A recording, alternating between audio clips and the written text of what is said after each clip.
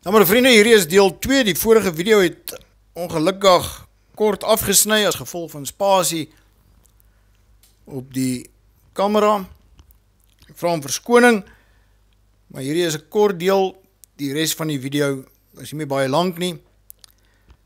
Ek begin weer hier by waar meneer Johannes Kagiano aan meneer Boy Moesman vertel en gewys op die interessante feit dat die siener spesifiek praat van sewe plaae wat Engeland se einde sal beteken. Pla wat volgens die burger van 13 Julie 1940 straf inhou vir die vyand. Oom Niklas sien dat die pla Engeland sal tuister. Dit lyk of die pla almal sommer op een dag sal kom. Nou vriende vandag wil ek vir jou sê.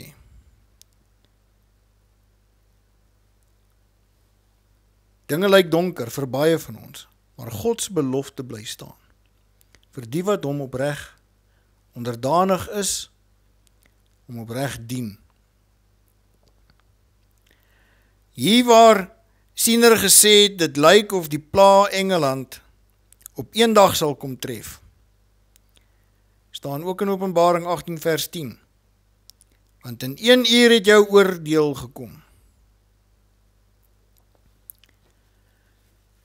Vir jou wat opreg is, sal dinge nie so donker wees nie. 11 Julie 1919 het siener gesien hoe openbare dienste vervalle gaan. 102 jaar later vandag sien ons dit. Hy het ook geldskaarste gesien met die visioen en die drie blou briewe. Maar voor dit gebeur sal die volk opreg die knie voor God moet buig. Dan sal God ons lei na vryheid soos in 1914 was ons deur 'n sif, sê die siener. Met die rebellie. Die boere wat hulle nie met die regeringsbeleid kon vereenselwig nie. Weereens is dit die wat nie hulle vereenselwig met die beleid wat vandag aan die gang is nie. Wat hulle self nie vereenselwig met hierdie wêreldse dinge nie. Met hierdie wêreldorde. Dit gaan 'n donker tyd wees maar vir die wat weet sal dit nie so donker wees nie. Broer en suster kies God.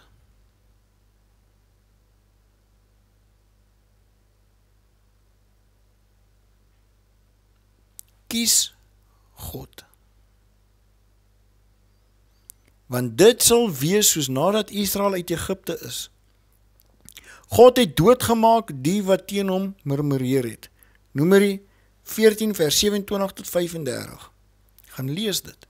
En Numeri 26 vers 65. Gaan lees dit.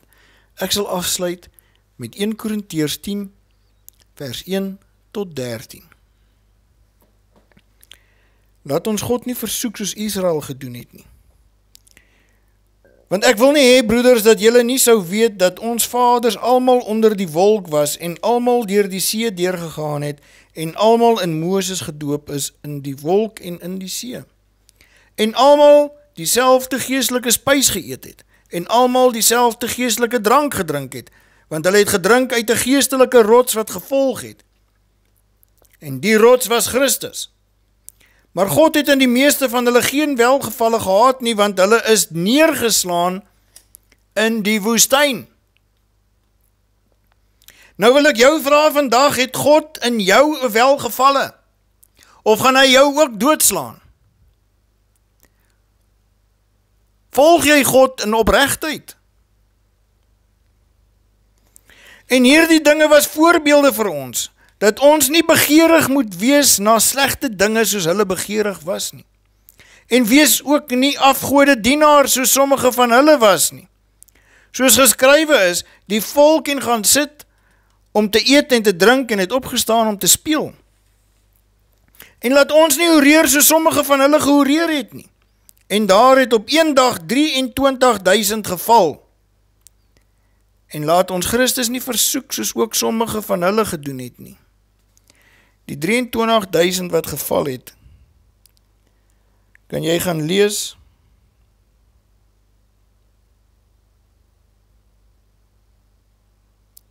In Numeri 25 vers 1 tot 9. En laat ons Christus nie versoek soos ook sommige van hulle gedoen het nie. En hulle het deur die slange omgekom. En moenie murmureer soos ook sommige van hulle gemurmureer het nie en hulle het deur die verderwer omgekom.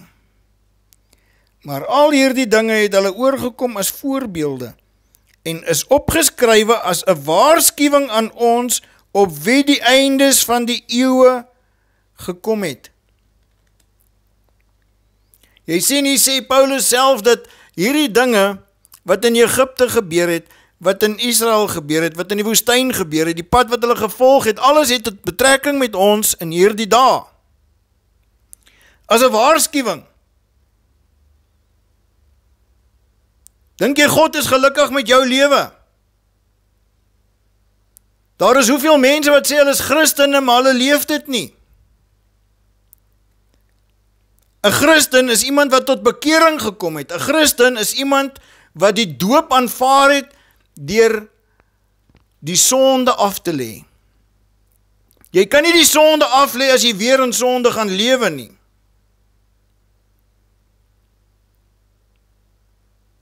Is jy wedergeboorte? Is jy wedergebore? Lewe jy vir Christus?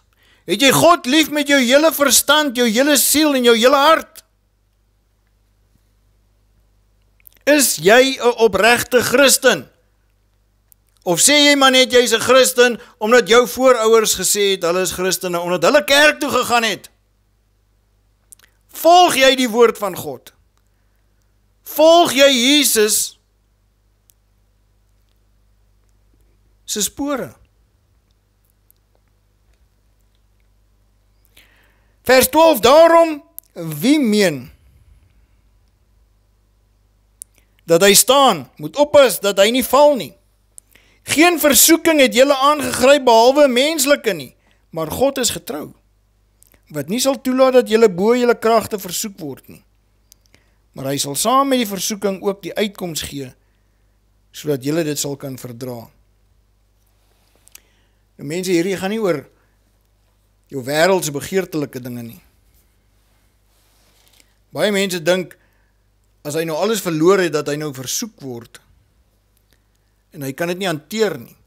Want baie mense pleeg selfmoord as hulle alles verloor, want hulle kan dit nie hanteer nie. Want hulle hoop is nie in God nie. Hulle hoop is in die wêreldse dinge. God sal jou nie versoek nie as jy op God vertrou. Dis nie almal nie. Mense wat vertroue het in in die wêreldse dinge, wat vertroue het in ander gode, Dit gaan nie vir hulle tel. Die woord gaan nie vir hulle tel nie. Want wat hom ook al versoek, het 'n ander betekenis. Maar jy wat in God glo, jy sal nie versoek word bo jou verstand nie. Onthou vriend, lees jou Bybel sodat jy nie mislei word nie. Kom in God se laar in, want dis waar jy beskerm gaan word. Moenie Moenie dat die wêreld jou mislei nie. Moenie die dinge van die wêreld aanvaar nie. En daarmee sluit ek af. God seën jou. Wees veilig en doen die regte ding. Doen die regte ding. Kom tot bekering. Maak jou saak reg met God. En hy sal met jou wees in hierdie dae. Groete.